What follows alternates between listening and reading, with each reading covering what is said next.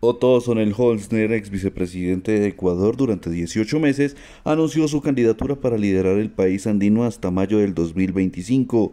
Su propuesta se enfoca en un gobierno de transición que emergerá de las elecciones generales extraordinarias programadas para el 20 de agosto y posiblemente una segunda vuelta el 15 de octubre. Con 40 años de edad, Sonel Holzner ocupó la vicepresidencia bajo la administración de Lenín Moreno entre diciembre del 2018 y junio del 2020.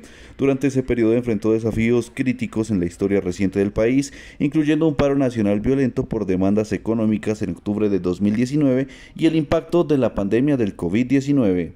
Aunque no se identifica con ideologías específicas, Sonel Hosner cuenta con el respaldo de los partidos Suma de ultraderecha y Avanza de centro izquierda, con formación en economía y experiencia internacional, Sonnenholzer se ha destacado en la arena política y empresarial. Se convirtió en uno de los jóvenes líderes mundiales de América Latina según el Foro Económico Mundial en el 2020. A pesar de su trayectoria, esta es la primera vez que participa en elecciones populares, ya que asumió la vicepresidencia por designación tras la renuncia de María Alejandra Vicuña.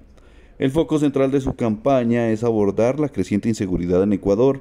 El candidato ha presentado un plan que incluye cuatro puntos claves, el control de cárceles, inteligencia para el control de armas, garantías para los funcionarios de justicia y respaldo a las fuerzas de seguridad.